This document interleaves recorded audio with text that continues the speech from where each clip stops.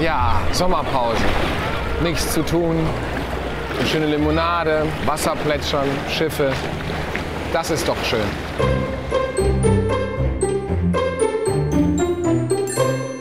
Nee, schönes Vorurteil, aber so ist es dann doch nicht. Sommerpause oder präziser parlamentarische Sommerpause bedeutet, dass wir keine regelmäßigen Sitzungswochen haben. Was macht man denn dann in der Sommerpause eigentlich als Abgeordneter? Was macht die Politik? Was macht das Parlament?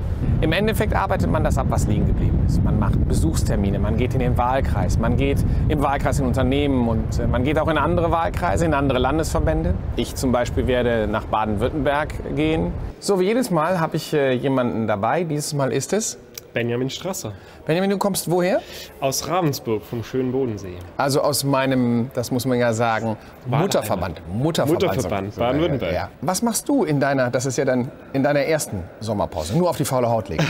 ich werde vor allem arbeiten. Ähm, ich äh, bin im Wahlkreis unterwegs zu ganz verschiedenen Terminen von Heimatfesten. Wir haben viele Heimatfeste.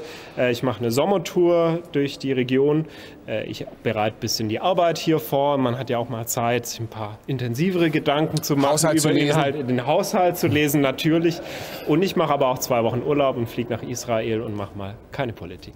Die nächsten Wochen sind bestimmt von Unternehmensbesuchen, Wahlkreistouren, Gesprächen mit Institutionen. Bei mir wäre das die Frage, und ich hoffe, dass das klappen wird, dass ich bei der Europäischen Zentralbank, bei der Bundesbank einige Gespräche führen kann, dass ich mit Forschungsinstituten sprechen kann.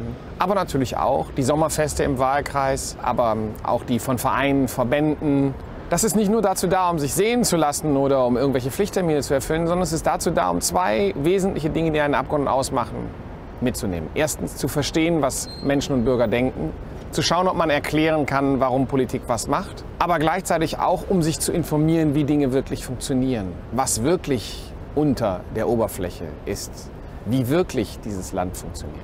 Naja, und dann äh, wird der Haushalt 2019 schon vorbereitet. Ähm, das heißt, lesen, lesen, Zahlen sich angucken, vergleichen, schauen, wo es rauf und schauen, wo es runter geht. Und äh, man kann jetzt schon erkennen, so viel kann ich jetzt schon sagen, das Lieblingswort des Finanzministers scheint weiter so zu sein.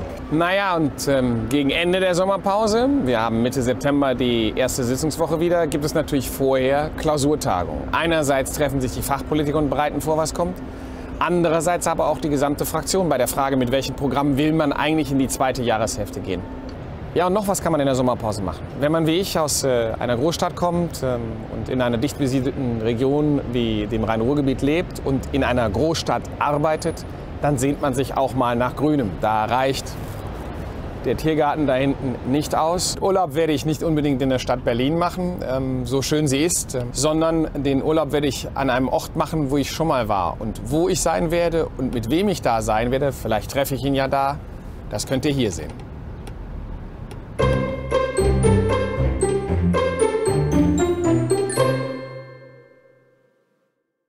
Naja, ein bisschen Sport könnte ich vielleicht in der Sommerpause auch mal machen. Vielleicht bleibt dafür ja Zeit.